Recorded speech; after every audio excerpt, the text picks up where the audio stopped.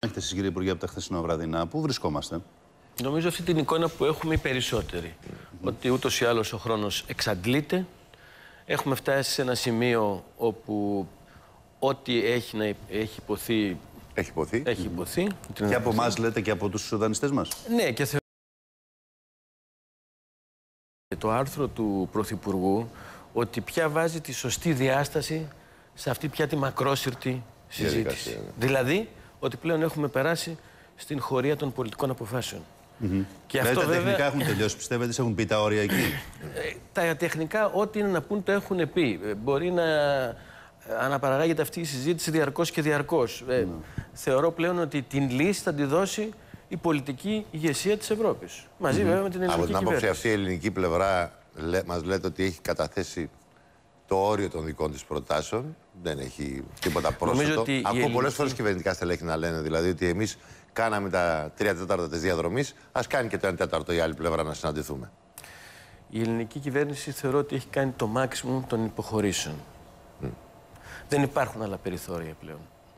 Δεν υπάρχουν άλλα περιθώρια. Και, και εκεί πηγαίνουμε στην πολιτική παρέμβαση και στην πολιτική λύση. Ακριβώς. Εξαιτίας αυτού. Ακριβώς. Ναι, αλλά βλέπουμε οι δανειστές να βάζουν και άλλα θέματα στο καλάθι. Θέματα που υποθέταμε, έχουν υποθεί και αυτά, όπως είπατε σωστά νομίζω και το ξέρουμε όλοι, έχουν υποθεί τα πάντα πια. Όλο αυτό το διάστημα των τεσσάρων μηνών. Βάζουν και άλλα θέματα. Βάζουν για παράδειγμα τα ενεργειακά. Την αποκρατικοποίηση της ΔΕΗ. Την, ε, το φυσικό αέριο. Βάζουν θέματα που για κάποιο κομμάτι της κυβέρνησης είναι ταμπού. Τι θα γίνει; Ξέρετε κάτι. Η αίσθηση που μου δίνεται και νομίζω όχι μόνο σε μένα είναι ότι οι δανειστές πλέον δεν συμπεριφέρονται ως εκπρόσωποι των δικών τους συμφερόντων αλλά ουσιαστικά ως επίτροποι, ως τοποτηρητές ή ως κυβερνήτες. Διότι το να βάζεις ένα, τέλ- ένα τέτοιο κατάλογο θεμάτων σημαίνει ότι καταργείς την δημοκρατικά εκλεγμένη ελληνική κυβέρνηση.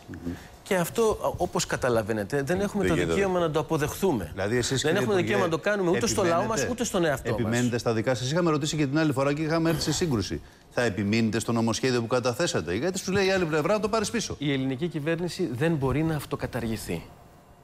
Ακόμη και να το ήθελε να το κάνει. Δεν έχει τέτοια εντολή, δεν έχει τέτοια εξοδότηση από τον ελληνικό λαό. δεν το Διότι ψηφίζετε, αυτό το τελικά, νομοσχέδιο, διότι τελικά αφού η είναι έτσι. αποδοχή, διότι τελικά η αποδοχή του συνόλου των επιχειρημάτων και των ετοιμάτων των δανειστών εκεί οδηγούν. Γιατί δεν το περνάτε στη Βουλή τότε; Πηγαίνετε Διότι- και ψηφίστε το νομοσχέδιό σας. Όχι, μισό Μισό λεπτό. λεπτό αυτό. είναι. Ε, το νομοσχέδιο αυτό, και άκουσα χθες και ένα σχόλιο Το βράδυ στο του κ. Παπαδημητρίου ε, από το σταθμό σας. Ε, δεν συνιστά μια δικιά μας ιδεολογική πολιτική αγκύλωση.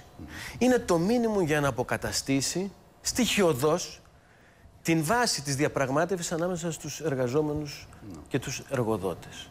Είναι αυτό το οποίο είναι αυτονόητο για τα ευρωπαϊκά δεδομένα και το οποίο το αρνούνται σήμερα στην Ελλάδα και κατά ένα βάναυσο τρόπο διαλύσανε την προηγούμενη πενταετία. Δηλαδή αναφέρομαι στις Σε συλλογικές εργασιακές διαπραγματεύσεις. διαπραγματεύσεις, εργασιακές σχέσεις. Το γεγονός ότι ε, εμείς δεν τον φέραμε νωρίτερα είναι πρώτα απ' όλα διότι κάναμε για πρώτη φορά τα τελευταία πρω- πρώτα χ- ε, τα πέντε χρόνια έναν πραγματικό, ουσιαστικό και εξαντλητικό κοινωνικό διάλογο. Μαζέψαμε τους κοινωνικούς εταίρους, κάναμε ε, επαφές. Και ξέρετε, να σας πω και κάτι άλλο το οποίο έχει, έχει διαλάθει ίσως της προστοχή σας. Σε συγκεκριμένα ζητήματα συνεχίζεται ο, ο διάλογος αυτό. Ήδη δηλαδή για τα ζητήματα της αδήλωτης εργασίας, κάθε εβδομάδα, κάθε Πέμπτη, υπάρχει μια μόνιμη επιτροπή από εργοδοτικούς και συνδικαλιστικούς φορείς, όπου συσκέπτεται, καταθέτει προτάσεις για τα θέματα της αδήλωτη εργασίας. Τα οποία καταλαβαίνετε πόσο Έχει μεγάλη μεγάλη σημασία σημασία, μεγάλο ρόλο. έτσι, Έχουν αλλιώς αυτή. και για τα Δηλαδή στα συνδικάτα 750 κτλ. έχουν συμφωνήσει οι εργοδότες. Στα 750. Γιατί όλα συμφωνούν οι υπάρχουν- εργοδότες και μετά δεν το κάνουν. Έτσι λέγανε και παλιότερα, θυμάμαι. Εμείς λέει βεβαίως λέει συμφωνούμε. Σιγά Είναι- λέει, Είναι, μόνο, είναι, ναι, είναι, ναι. είναι, μοιρασμένες, είναι μοιρασμένες οι απόψεις. Και αυτό ίσως είναι και κατανοητό, διότι ε, δεν έχει ο, τις ίδιες επιπτώσεις σε όλους τους κλάδους της ε, οικονομίας. Επομένως δεν κάνετε πίσω, κύριε Υπουργέ, για να το λήξουμε αυτό το θέμα. Σε αυτό γιατί και εσείς κρατάτε μια στάση ψηλοαμυντική, θα την πω έτσι, αν μου Όχι, επιτρέπετε. ε, γιατί περιμένετε τις εξαντλούμε- εξελίξεις. Εξαντλούμε όλα Αλλιώς τα θα το είχατε ψηφίσει. Ε, εξαντλούμε, καταρχήν δεν είναι θέμα προσωπικό. Ναι, όχι, κυβερνητικό θέμα είναι. Συνολικά της Εντάξει, εσείς κυβέρνησης. είστε όρμοδο υπουργός όμως. Λοιπόν, Έχετε ευθύνη. εξαντλούμε αυτή τη στιγμή όλα τα περιθώρια ώστε να αποτελέσει το συγκεκριμένο νομοσχέδιο μέρος αυτής της συμφωνίας. Αλλά επαναλαμβάνω, και αυτό το έχω κάνει σαφές, ότι τουλάχιστον με αφορά και θεωρώ κατ' επέκταση ισχύει για την κυβέρνηση. Είναι δεν είναι το νομοσχέδιο αυτό ε, μέσα στη συμφωνία, πρέπει εάν υπογραφεί η συμφωνία τις επόμενες μέρες, να ψηφιστεί ούτως ή άλλως. Ούτως ή άλλως. Να το πω.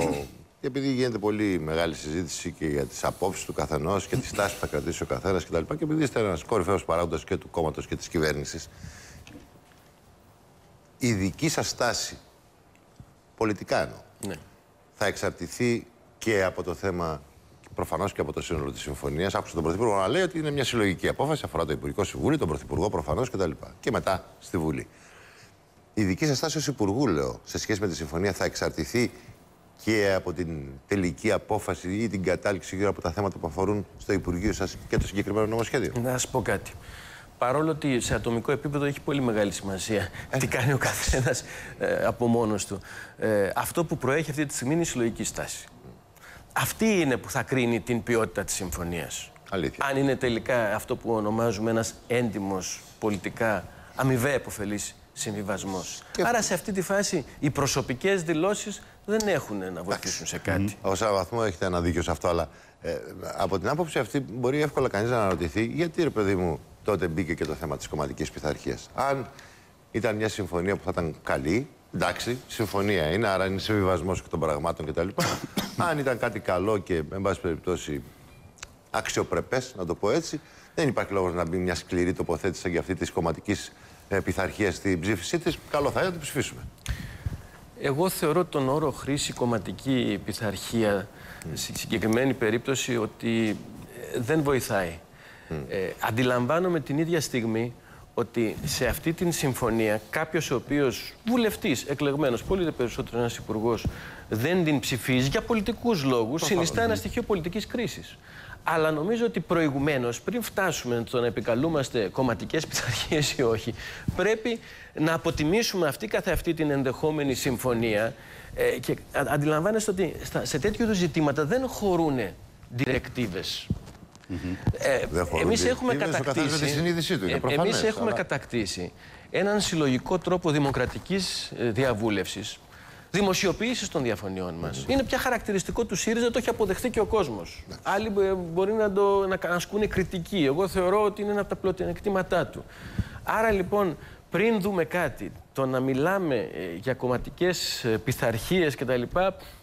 Δεν Δεν βοηθάει. Αλλά δεν είναι δεν αυτονόητο βοηθάει. όταν μια κυβέρνηση κινδυνεύει να καταρρεύσει εξαιτίας αυτού. Μα το είπα κύριε πριν από Υπουργέ. λίγο, ότι συνιστά στοιχείο πολιτικής Πολιτικής κρίσης. κρίσης. Ναι. Αλλά ξέρετε, κάποια στιγμή ε, η ίδια η ζωή είναι που θέτει τα διλήμματα και τα προβλήματα. Εντάξει, αλήθεια είναι αυτό. Ε, η δικιά σας εκτίμηση είναι ότι μια συμφωνία στην οποία συμφωνούσε, γι' αυτό θα ήταν και συμφωνία, το Υπουργικό Συμβούλιο περνάει από αυτή τη Βουλή.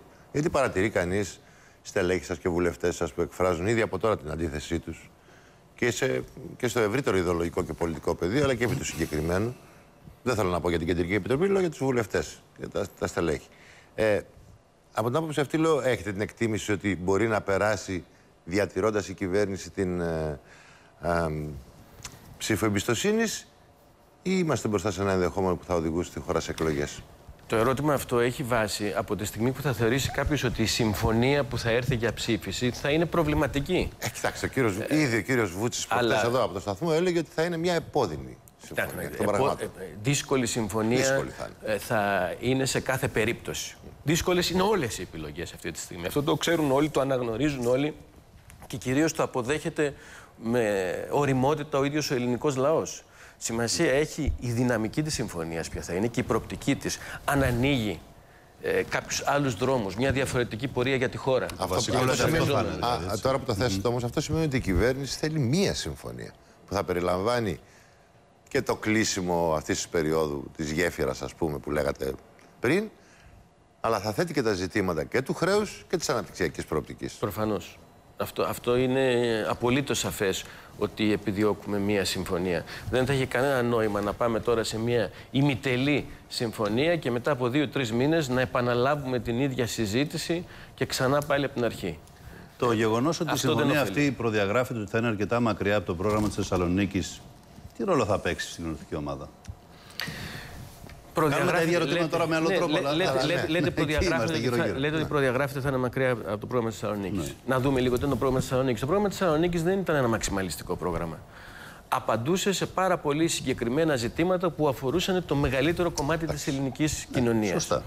Άμεσα. Διαπιστώνουμε, διαπιστώνουμε και ήδη εμείς το έχουμε πει ότι αυτό το οποίο εμείς εκτιμούσαμε και θα θέλαμε να κάνουμε σε ένα, ε, στο εύρος ενός χρονικού ορίζοντα ενός-δύο ετών δεν μπορεί να γίνει.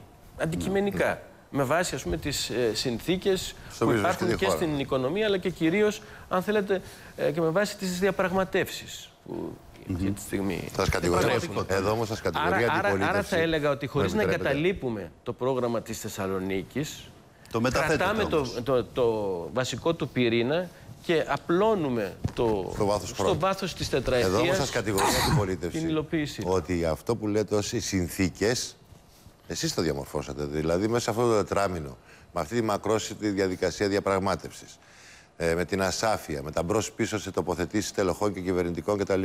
Και του οικονομικού επιτελείου, διαμορφώθηκε ένα δύσκολο ηφαισιακό περιβάλλον που κάνει τα πράγματα πιο δύσκολα από ό,τι ήταν, ας πούμε, τον Νοέμβριο. Ε, Όταν αναφέρομαι σε συνθήκες, δεν εννοώ τις συνθήκες της ε, οικονομίας, οι οποίες ε, οριακά μπορεί να μεταβάλλονται αυτό το τετράμινο. Οριακά μεταβάλλονται. Έτσι κι αλλιώς τα προβλήματα είναι συσσωρευμένα. δεν είχαμε καμία δυναμική η οποία ανακόπηκε. Το αντίστροφο θα έλεγα. Το αντίστροφο. Είχαμε μια αρνητική δυναμική η οποία εξακολουθεί και υπάρχει.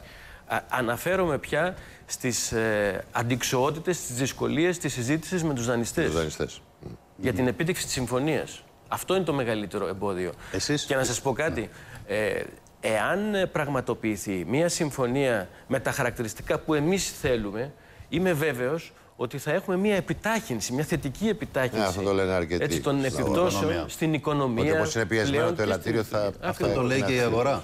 Το θέμα είναι ότι αυτή η συμφωνία μπορεί να δημιουργήσει πολιτικές ανατροπές, κύριε Υπουργέ, που δεν μπορούμε να τις φανταστούμε αυτή την ώρα. Αλλά μια πολύ μεγάλη ισχυρή πιθανότητα, το λένε πολλοί, είναι να πάμε σε εκλογές. Λένε κάποιοι βέβαια σε αυτό δύο, με δύο, πώς να το πω, δύο εκδοχές. Δηλαδή, μία με συμφωνία ψηφισμένη στη Βουλή, με κάποια απώλεια τέλος πάντων από την κυβερνητική πλευρά, να πάμε σε εκλογές, η άλλη χωρίς ψηφισμένη συμφωνία. Εσείς τι λέτε γι' αυτό; Θα σας πω και για τα δύο. Καταρχήν, ε, θεωρώ ότι θα πρέπει ε, να αποφύγουμε την οποιαδήποτε απώλεια από την κυβερνητική πλειοψηφία. Ε, στις δεδομένες συνθήκες, η ενότητα της κοινοβουλευτικής ομάδας του ΣΥΡΙΖΑ, η ενότητα του κόμματος του ΣΥΡΙΖΑ είναι και προϋπόθεση μιας επιτυχούς πορείας. Όχι μόνο των διαπραγματεύσεων, αλλά και για την επόμενη μέρα. Και αυτό το έχουμε συνειδητοποιήσει. Το έχετε συνειδητοποιήσει. υπερασπιζόμαστε. Μισό. Θα σας πω. αλλά αμέσως. βέβαια αυτό πάντοτε έχει μια πολιτική βάση. Έχει μια πολιτική βάση και θα σας πω ότι εδώ 43 βουλευτές για ένα επιμέρους θέμα. Η ιστορία της κυρίας Παναρίτη είναι ένα επιμέρους θέμα, δεν είναι ένα κεντρικό θέμα. Για ένα επιμέρους όμως θέμα που, δείχ- που έχει όμως πολιτικά χαρακτηριστικά και έχει υπόβαθρο, υπογράφουν κείμενο κατά της επιλογής αυτής, σημειώνοντας τα πολιτικά χαρακτηριστικά, λέγοντας δηλαδή ότι είναι επιφανής παράγοντας της μνημονιακής αντίληψης. Ακριβώς. Να σας Αυτό πω κάτι. δείχνει μια Εσείς τάση. θεωρείτε Δεν δείχνει μια δηλαδή τάση. Ότι το περιεχόμενο των πολιτικών ενστάσεων των συγκεκριμένων βουλευτών λειτουργεί υπονομευτικά ως προς την ενότητα του χώρου ή την υπερασπίζεται. Α, αφήστε νομίζω. Λοιπόν. αφήστε νομίζω. Εντάξει, Λοιπόν, αλλά το ερώτημα θέλω όμως να πω, τίθεται. δηλαδή- Γιατί ένας κόσμος λέει: Έχω μια κυβέρνηση η οποία έχει 149 ο ΣΥΡΙΖΑ, μια και μιλάμε για το ΣΥΡΙΖΑ, αφήστε τους ανέλ τώρα. Και από τι 149 μου εμφανίζονται 43. Έχουν εμφανιστεί και άλλοι οι οποίοι δεν υπέγραψαν το κείμενο, διατασικά κιόλας, και θυμίζουν στην κυβέρνηση ότι δεν πρέπει να διολυστεί σε μνημονιακές επιλογές. Το λένε για το πρόσωπο, το λένε όμως για τις πολιτικές στην πραγματικότητα. Και η αλήθεια είναι, κύριε Σκουρλέτη, για να μην κρυβόμαστε, ότι επί του μνημονιακού ζητημάτων συζητάμε άλλα θέματα. Δηλαδή τα ίδια και τα ίδια. Ασφαλιστικό, εργασιακό, Προφανώς, τα ίδια. δημοσιονομικά, αποκρατικοποιήσεις, απολύσεις. Απαντήστε πάντως στο ερώτημα εκλογές με ή χωρίς Ναι, ναι, συμφωνία. μα- για πάμε, λοιπόν, να ναι. γυρίσουμε λίγο πίσω. Λοιπόν, ναι, ε, α, ε, λοιπόν, τώρα σε σχέση με τις εκλογές, κοιτάξτε να δείτε.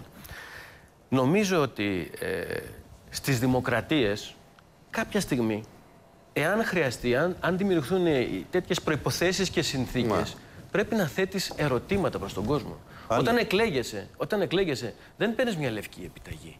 Αυτή είναι η έννοια. της προχθές δημοκρατίας. εκλεγήκατε. Υπάρχει ένα θέμα δηλαδή μιας, αν θέλετε, δημοκρατικής νομιμοποίησης ή των ορίων της δημοκρατικής νομιμοποίησης που διαθέτει μια κυβέρνηση. Ναι, αλλά έτσι νομιμοποιείται Εάν, και ο λοιπόν- άλλος να σου πει εάν, λοιπόν, ότι φτάσουμε- εξελέγεις με ανακρίβειες. Να το πω κομψά. Αυτός- δηλαδή το αυ- πρόγραμμα που. Για να μην επιβεβαιωθεί ακριβώς αυτό που λέτε. Ε, ναι, τώρα τον ενισχύεις. Ακριβώς. Ναι, για να αλλά μην... δεν το για- ξέρατε. Για, σκεφτείτε Δεν την το κυβέρνηση ξέρατε, Σαμαρά. κύριε Σκουρλέτη. Πώς Εδώ ζούσαμε εκλέχθηκε ένα το δράμα, 12 δεν και ζούσαμε τι πριν. έκανε. Δεν Όχι, ζούσαμε ένα δράμα λέω, πριν. σκεφτείτε Δηλαδή την ο ΣΥΡΙΖΑ κυβέρνηση. ήρθε και είπε ότι όχι, δεν είναι αυτό που νομίζεις, μπορώ να κάνω μια, πώς το λέω, μια κομμωδία. Δεν, μπορεί, δεν γίνεται όμως. Λοιπόν, για να μην κάνουμε φαρσοκομωδίες. Ναι, άλλο είναι φαρσοκομωδία, να Να μην εντάξει. ανεβάζουμε Ωραία. φαρσοκομωδίες. Σκεφτείτε, επαναλαμβάνω, το πώς εκλέχθηκε η κυβέρνηση Παπανδρέου ή η κυβέρνηση Σαμαρά. Είχε τη δημοκρατική νομιμοποίηση να εφαρμόσει ένα τέτοιο πρόγραμμα το οποίο εφάρμοσε. θα εφηρμόσε. Όχι βέβαια. Έκαναν εκλογές μετά. Άρα λοιπόν λέω ότι αν, συμ- με τη αν στην, συμφωνία περίπτωση, όμως. στην Ναι. περίπτωση που. Εσείς λέτε δεν χωρίς διαμορφωθεί- συμφωνία ή με συμφωνία Θα σας πω, στις θα σας πω. Θα σας απαντήσω ακριβώς αυτό. Στην περίπτωση που δεν επιτευχθεί μια συμφωνία που εκτιμάμε ότι συνιστά έναν έντιμο και προωθητικό συμβιβασμό, τότε ναι, θα πρέπει να σκεφτούμε αυτό το Να ρωτηθεί και ενδεχόμενο. ο κόσμος. Να πάρει Με τη δηλαδή συμφωνία μη ψηφισμένη. Αυτό λέτε. Ναι, βέβαια. Να ρωτηθεί ο κόσμος αν θέλετε αυτό ή όχι. Ακριβώς. Γιατί, γιατί αν ψηφιστεί η συμφωνία, ε, ε, σημαίνει ότι εμείς πολιτικά θεωρούμε ότι κινούμαστε μέσα στα στο- πλαίσια, στα όρια στο του- πλαίσιο της είναι εντολής αποδεκτή. που έχουμε στις πάρει. εντολές που έχετε Μάλιστα, πάρει. μάλιστα. Κάνουμε ένα μικρό διαφημιστικό διάλειμμα και συνεχίζουμε τη συζήτηση.